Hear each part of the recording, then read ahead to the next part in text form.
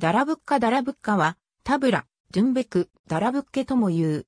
幕名楽器に分類される、打楽器である。コブレット型太鼓の一種。アラブ音楽やトルコ音楽で使用される打楽器でよく響く低音が特徴。起源は古く、古代メソポタミアでは紀元前1100年頃から存在していたことが分かっている。椅子や床に座り足の上に置いて演奏するのが基本姿勢で、他に両足で胴を挟むスタイルやストラップを用いて肩にかけ立って演奏する方法もある。演奏の際は左右の手で湖面を叩き、複数の音色を打ち分ける。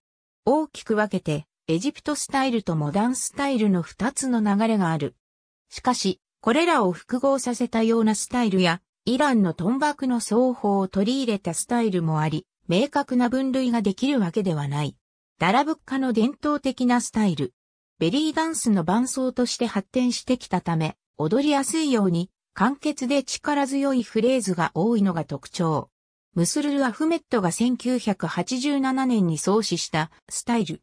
音の組み合わせが自由自在にできるように、個々の音の出し方が様々な点でエジプシャンスタイルとは異なっている。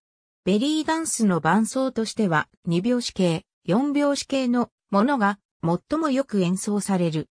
アラブ歌謡の一種であるムワッシャハーでは6拍子、7拍子、10拍子なども演奏され、トルコ音楽でも変拍子は多く演奏される。JS ライミス。ありがとうございます。